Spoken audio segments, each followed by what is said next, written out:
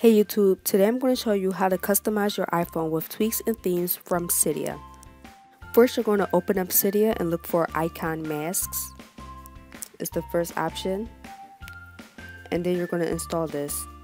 Cydia will automatically add Winterboard if you don't already have it on your iDevice. Now you're going to open up Winterboard, go to select themes, and choose from the many options to change your icons. Here are some of the options I chose to change my icons.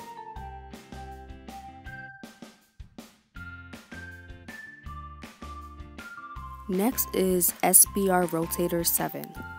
Once you install, you're going to enter settings and you're going to look at the options.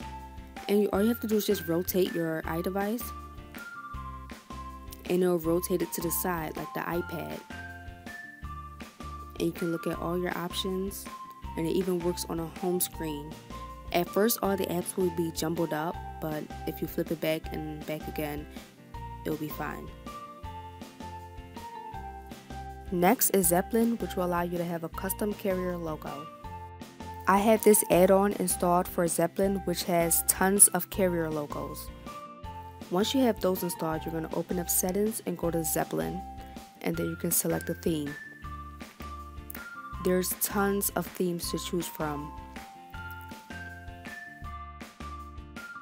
Next is Barrel, which will add a cool animation every time you swipe to a new page on your home screen.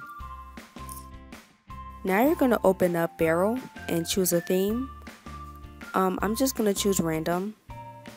And when you go down, you'll see that every time I slide to a new page, it's all at random.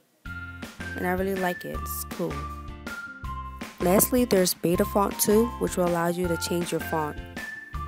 Also, make sure to have BytaFont SideJet installed, which will allow your lock screen font to change also.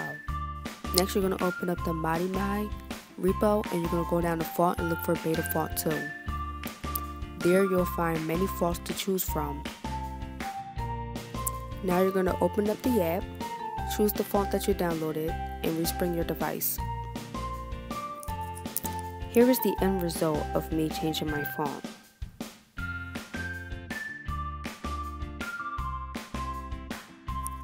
Thanks for watching, subscribe for more comment suggestions or tutorials on the next video and also comment games that you'll want hacked.